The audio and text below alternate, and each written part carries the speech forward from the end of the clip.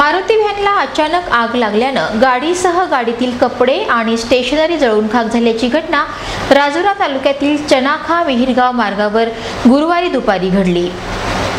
यात गाडीमध्ये एक महिलेला किरकोळ जखम झाली. सुदैवानं जीवित हानी झाली नाही.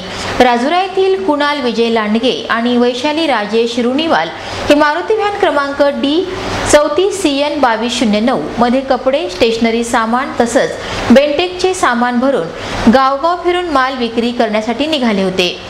मूर्ती या गावातून परत राजुऱ्याला जात असताना चनाखा गावाजवळ व्हॅनमधील कपड्यांना आग लागली आणि पाहता पाहता आगीचा भडका झाला. प्रसंगावधान पाहून गाडीतून पटकन उतरून गाडीतील कपडे काढण्याच्या प्रयत्नात वैशालीला किरकोळ दुखापत झाली असून डोळ्यादेखत ती गाडी मात्र आणि त्यातील सामान पूर्णपणे जळून खाक झालं.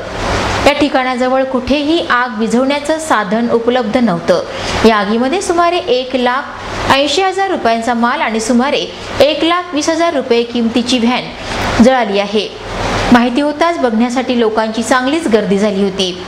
दरम्यान विरूर पोलीस ठाण्यातील उपनिरीक्षक एस टी वडतकर यांनी आणि पोलीस कर्मचारी यांनी घटनास्थळी येऊन पंचनामा केला असून शॉर्ट सर्किटमुळे ही आग लागली असावी अशा असं आमच्या प्रतिनिधीला सांगितलं आहे.